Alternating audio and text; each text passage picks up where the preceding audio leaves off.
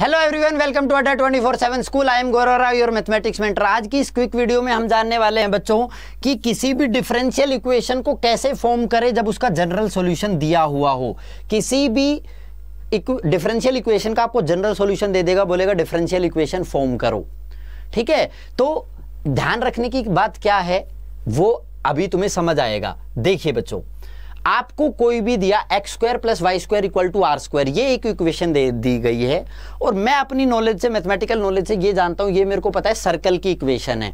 Are की value different different put करो different different circle आते चले जाएँगे। वन पुट करा तो वन रेडियस का सर्कल आ जाएगा। टू पुट करेंगे तो टू रेडियस का सर्कल आ जाएगा। थ्री पुट करेंगे तो थ्री रेडियस का सर्कल आ जाएगा। और इन सबका सेंटर ज़ीरो पर तो है ही, क्योंकि इसको एक्स माइनस ज़ीरो का whole square plus y minus zero का whole square equal to r square देख सकते हैं। यहाँ से पता चल रहा है मेरा कि सेंटर जो है ज़ीरो ज़ीरो पर है।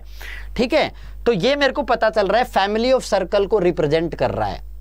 ठीक है? फैमिली ऑफ़ सर्कल जिन सब का सेंटर बेटा ओरिजिन पर है।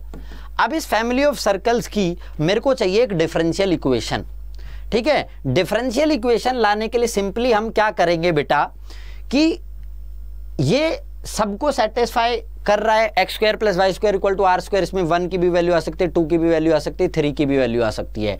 तो ऐसी डिफरेंशियल इक्वेशन निकालूं जो हर मेंबर को सेटिस्फाई करे। हर मेंबर को सेटिस्फाई करे तो मेरे को उस डिफरेंशियल इक्वेशन को फ्री करना पड़ेगा आर से। फ्री फ्रॉम आर क्योंकि आर की डिफरेंट डिफरेंट वैल्यू है अलग अलग मेंबर के लिए। तो मतलब मेरे को क्या करना होता है? रिमूवल ऑफ़ कॉन्स्टेंट करना पड़ता है। तो ये बात ध्यान रखना बच्चों अब, कि जो आपका डिफ जनरल सॉल्यूशन में आपके पास कांस्टेंट है, उनका करना है रिमूवल एक कांस्टेंट है वन कांस्टेंट तो बेटा एक बार डिफरेंशिएशन से काम चल जाएगा। ठीक है? डिफरेंशिएशन करना एक बार। अगर दो कांस्टेंट हैं, ठीक है? दो कांस्टेंट हैं तो बेटा डिफरेंशिएशन करना पड़ेगा ट्वाइस दो बार डिफरेंशिएशन से काम चलेगा। जैसे कि यही है x square plus y square equal to r square मैंने इसको एक्स के रिस्पेक्ट में डिफरेंशिएट किया एक्स स्क्वायर का हो गया two x plus y square का हुआ टू वाई और फिर वाई का बेटा d y by d x r square r तो एक कॉन्स्टेंट है, उसका डिफ्रेंसिएशन आएगा ज़ीरो ये आ गया? समझ आई मेरी बात? कि two x plus two y d y by d x आ गया आपका ज़ीरो यहाँ से इसको और ज़्यादा तुम सिंप्लीफाई करके भी लिख सकते हो कि two y d y by d x equal to minus two x two से टू गायब कर दो। D y by d x equal to minus x upon y ये आ गई आपकी डिफरेंशियल इक्वेशन तो सॉल्यूशन से डिफरेंशियल इक्वेशन पर अराइव कर गए by removal of arbitrary constant एक और एग्जांपल से देख लेते हैं बेटा। आपको बोल रहा है कि फैमिली ऑफ़ इलिप्स जिसका फोकाई एक्स एक्सिस पर है सेंटर ओरिजिन पर है, इसका डिफरेंशियल इक्वेशन निकाल के बताओ। क्या होती है हमारी इलिप्स की equation x square by a square foci x axis पर है और बेटा ओरिजिन पर सेंटर है। तो y square by b square equal to one कितने arbitrary constant arbitrary constant sir two कितनी बार डिफ्रेंशिएशन करोगे? सर दो बार। करके देखो।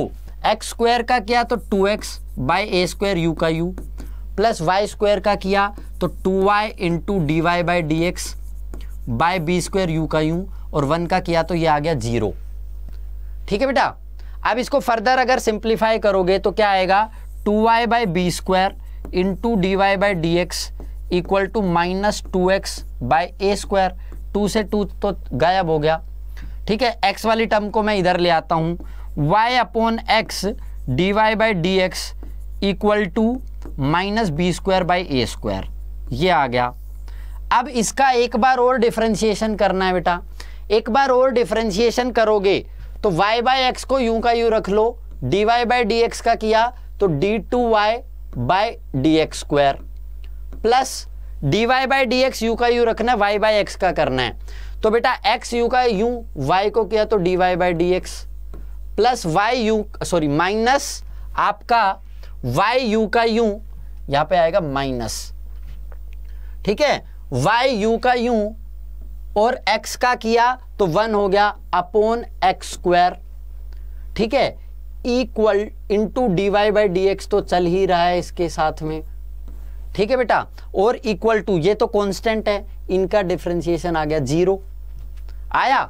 अब इसको और सिंप्लीफाई करके देख लो। y by x d two y by d x square अब आगे क्या कर सकता हूँ मैं इसको?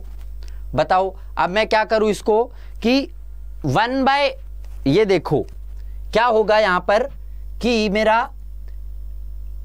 x बाय, मैं कर रहा हूँ x into d y by d x upon x square ठीक है? और बेटा ये d y by d x तो चल ही रहा है। Minus y upon x square d y by d x equal to zero ठीक है? अब देखो, इसमें क्या करो तुम अब सिंपली बेटा?